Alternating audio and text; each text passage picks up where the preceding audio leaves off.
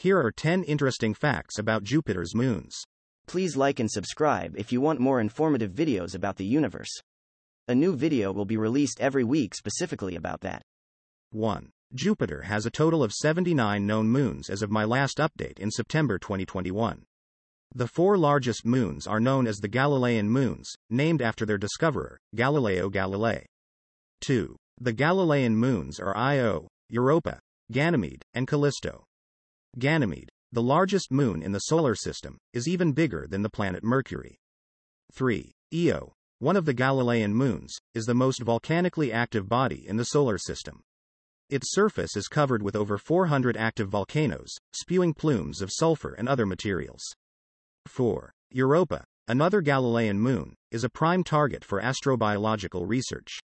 It is believed to have a subsurface ocean beneath its icy shell, making it a potential candidate for extraterrestrial life. 5. Ganymede, the largest moon of Jupiter in the solar system, is the only moon known to have its own magnetic field, which indicates the presence of a liquid iron nickel core. 6. Callisto, the outermost Galilean moon, has one of the oldest and most heavily cratered surfaces in the solar system. It is thought to have experienced less geological activity compared to its siblings.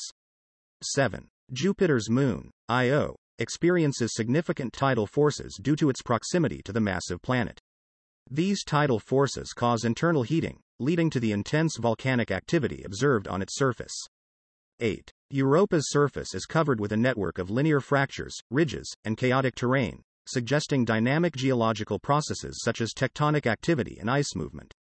9. The intense radiation and magnetic environment around Jupiter have a significant impact on its moons. The radiation belts can create auroras on the moon's surfaces, similar to the northern and southern lights on Earth.